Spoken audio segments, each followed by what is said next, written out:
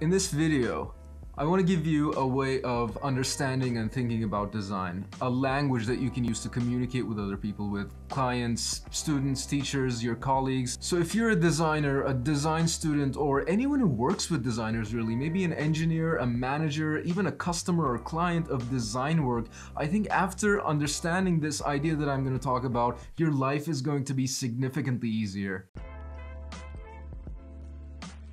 So I teach interaction design at the university level, which I sometimes oversimplify and I define it as the mix of computer science and product design. But we borrow in our work from a lot of design related disciplines. Obviously all sorts of engineering, but also like service design and business design and design thinking and all of that. And one thing that I observe, not only when working with students, but also with, you know, other designers or colleagues, engineers, developers, researchers, I observe that everyone seems to have their own definition of what design even is. Like, how do we define design? What is the language, some word choices, some terminology that we can use to articulate what design is all about and what makes great design? I feel that it's extremely important to have this shared understanding, to be on the same page, to be aligned when it comes to what design is about, and that's why I decided to make this video. So this might feel to some of you like we're overthinking. After all, I am an academic and academics do have a reputation for like overthinking things, but I find a lot of misunderstandings, inefficiencies, frictions in communication and collaboration professionally. These stem from people not just not being aligned when it comes to the basic definitions of what they're doing. So for example, the basic notion of design can mean something to an engineer, another thing to a graphic designer, and yet another thing to a business consultant and so on. Depending on their background and their knowledge and their goals, people might be overemphasizing one particular aspect or one particular type of design while they might be a little disconnected from a much bigger picture. And sometimes even though people have the same ideas in their head, they used a different language to describe that. So here I would like to offer one particular definition of design, one particular language that we can use to describe different aspects of design work. So in my view, design is the combination, it's the synthesis of two different kinds of activities. It's like a coin with two sides, if you will. On one hand, you have all of these like user studies and fieldwork and interviews, post-its, notebooks and insights and all of that. This is all of the invisible work that goes into making design decisions. And on the other side, you have all the handwork, the making, the creating, the, the blueprints, the 3D prints, the lasers, all of the like the typography and the graphics and all of that. So design is about picking problems and then solving them. Design is about making decisions and executing on those decisions. There's both thinking and crafting involved in design. What I discovered was that a lot of design professionals and leaders, they, they describe this two-sided nature of design by distinguishing between what they call strategic design and tactical design. Strategy, as the name implies, pertains to decision making. It's about justifying your design decisions based on evidence and intelligence.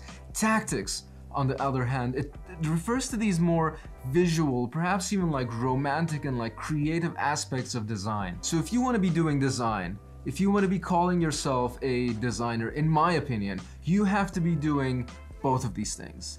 You have to be competent in both strategy and the tactics. Now you can you know, you can choose to be a tactician or a strategist. You could choose to specialize in one of those activities, but in my opinion, then you are not doing design. You have chosen then to become maybe a researcher, maybe a business strategist, or some kind of craftsman, some kind of artist even.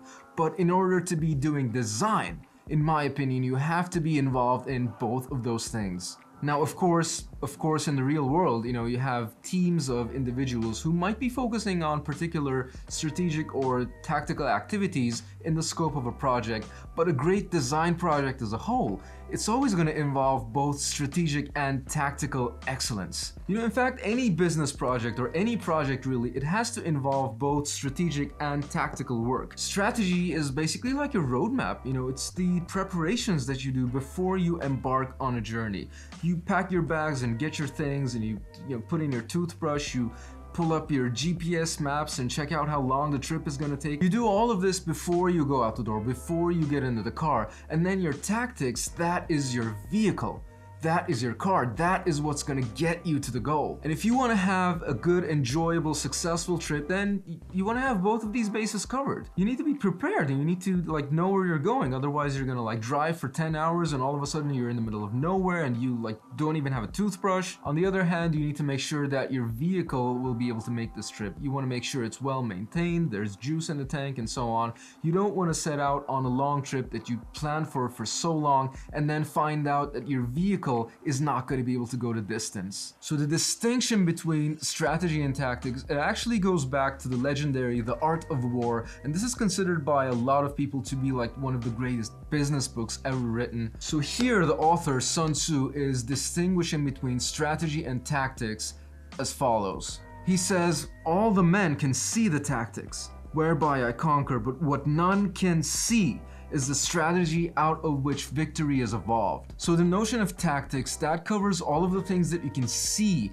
in the final design, the final product, or sometimes these deliverables that you present to your colleagues or your teachers or your clients. It's like the shapes and forms and materials and handwork and graphics. Strategic design, on the other hand, might be invisible in the final product. It's how you arrive at the design decisions which are then materialized through your tactics. But even though it's invisible, it's equally important as the visible work. Now I know, I know there's like particular disciplines of design, particular lines of work where people might be leaning more heavily onto strategy or tactics like the work of a business designer for example that's more more strategy than tactics and the work of like a graphic designer or a fashion designer might be more tactically oriented i'm not saying that these people are doing it wrong. But what I am saying is basically two things. Number one is that to be amazing, to do great, excellent work, you need to have both strategy and tactics in your bag. There are countless products out there which you know they look great they win design awards they, they they look like super impressive but you know one year later the company is not there anymore. In any kind of marketplace in the real world without a good strategy you are gonna be killed. On the other hand for example i know a lot of like researchers and academics who work on design they do this like really cool research they have these interesting ideas and these elaborate theories and frameworks and so on with all kinds of interesting ideas but like no one has heard of them. And the reason is because they have not invested in the tactics, into materializing their work, in you know making these things that are actually interesting to look at and to hold. So perhaps not necessarily every individual, but a successful design team, a successful design project always, always needs great strategy and great tactics. Number two, if you are an amazing strategist or tactician, you know, that is that is amazing. That's so cool. I have incredible respect for leadership, craftsmanship, salesmanship, all of those skills that come into play. But you have to be aware that there is this other side of the work and it is equally as important as your talents. So we all have to recognize that, you know, in a team or organization, we all need each other. We all need all of these skills that depend on each other. So we have to just recognize that our projects are probably not going to go anywhere unless we have both of these things covered properly. So if you made the choice to focus on particular strategic or tactical activities, that is great that's awesome, you know, but just be aware of that and do appreciate that there is this other side of the work that is equally important. So as I said, I am an academic, I do research, I teach at the university, and what we do in my profession is we reveal our resources. We not only tell people about what we learned, but also where we learned it from. And in this particular case, this, this distinction about strategic and tactical design and its value uh, what led me to this insight was in fact a series of podcasts. This is a free resource. This is the high resolution series of podcasts where the creators are like hosting and interviewing these like really high level, super impressive design leaders from like these high level technology companies. This is directors and vice presidents from like IBM, Uber, Airbnb, Microsoft, and so on. If you are serious about doing design or working with designers as part of your profession, I highly recommend that you go and check out this resource. It's, it's completely free. They're not like paying me to do this or anything. I really think it's an amazing resource, especially for interaction designers. So go check it out. It will be time that is well spent. So to wrap up and summarize what we've been talking about in this video, we have covered the idea that design, must involve both strategic decision making and tactical execution. This is kind of a conceptualization and a language that I find really useful. Like, for example, if I'm critiquing the work of my students or establishing like the, the criteria that their work should fulfill, then I find myself using this language very frequently. So I might say to some students, for example, you know, this this looks really beautiful. This is amazing. But if you if you now go and invest some time into articulating what strategic decisions led you to this design, then that's going to multiply the value of your work. Or if they've done like great research, then I might say, you know, okay, good, go go go make it create something out of this. If you are a designer or a design student or anyone who works with designers really, I think this idea will be useful to you. And you know, if you do actually find these ideas useful, if you find that they indeed do apply to the professional situations that you find yourself in, please let me know in the comments below. I'm really looking forward to hearing some other viewpoints, some experiences around this idea.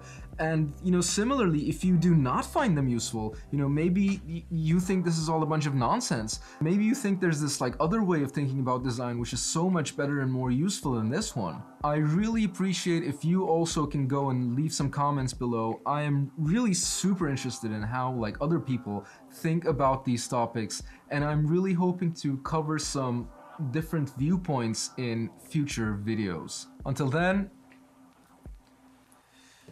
how do I, how do people end videos? Like, what, what, what do you say at the end of a video? It's, bye?